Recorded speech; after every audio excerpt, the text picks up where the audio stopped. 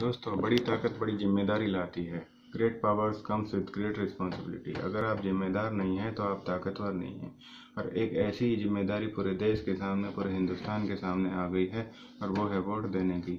लोकसभा चुनाव 2019 दोस्तों, मैं या न किसी भी पॉलिटिकल पार्टी या पॉलिटिकल लीडर की बात नहीं करूँगा, क्योंकि पॉलिटिकल लीडर लोकतंत्र नहीं है।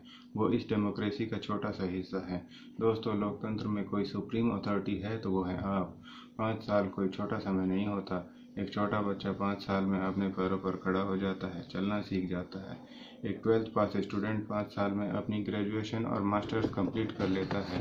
दोस्तों, हम और हमारे वोट को सीरियसली लेना चाहिए और सही उम्मीदवार को वोट करना चाहिए।